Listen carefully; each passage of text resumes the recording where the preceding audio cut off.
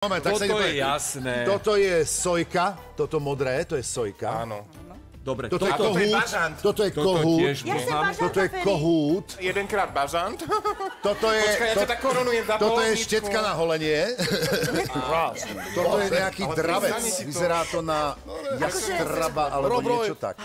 Milujem, že mi detský tábor za sekundu sme si spravili on svoje, my svoje. Keď som si kupovala tento klobúk pred 15 rokmi, tak bol za môjim chrbtom jeden môj dobrý priateľ, tak sme preberali a on hovorí, vieš, jedna pani, tak jak ty si preberala klobúky, a predávať sa jej opýtal, no pani, povedzte mi presne, čo máte na mysli.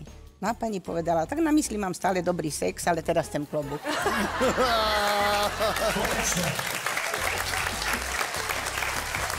Wow!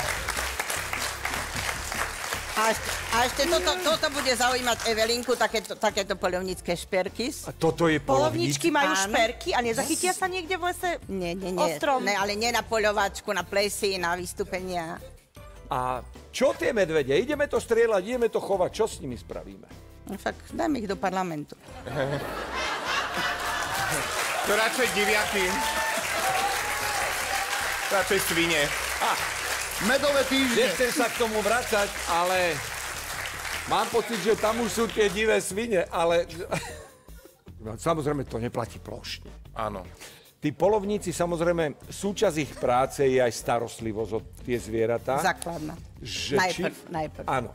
Či vám to nie je ľúto potom streliť? Lebo ja som raz bol na polovačke, dali mi dva náboje a dva som vrátil. Lebo nie, nie, ja som nevedel Nemal si pušku. Dali mu iba Skúsim ho náboj. teraz. To treba. Pri každom odstrele si treba povedať. Práve keď teba zložím, Tak. bude mať miesto lepšie. Ja by som A to už ste stretli medveďa naživo? Nie. Ja A som stretol sa, že včera pri Ale že vraj treba pred medveďom utekať dole kopcom, lebo že majú silné nohy a potom oni sa kotulajú. Je to pravda? Neviem o tom, nemám skúsenosti s medveďmi. To je presne taká istá rada, ako keď, e, že už na teba ide lavina.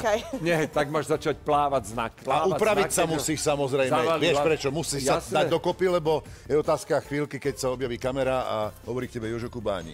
Takže je to klasika. Tak čo, ako bolo v Lavine? Čiže do lavíny vždy upravená. Tak sa dobre starajte o tie zvieratka, o ten les Starajte. a strelte len to, čo treba. A Ferkovi, Ferkovi sedí klobúk, zakryl čelo, ale soberiem si ho na... Joj. Práve som čakal, že ďakujem. Ja som mal na jazyku ďakujem, ale nech sa páči. ďakujem. Aby bolo jasné, že Julia Kopinecová nie je len taká polovníčka, tak je to pani doktorka Julia Kopinecová, ktorá dnes tu bola za všetky polovníčky. Ďakujeme veľmi pekne.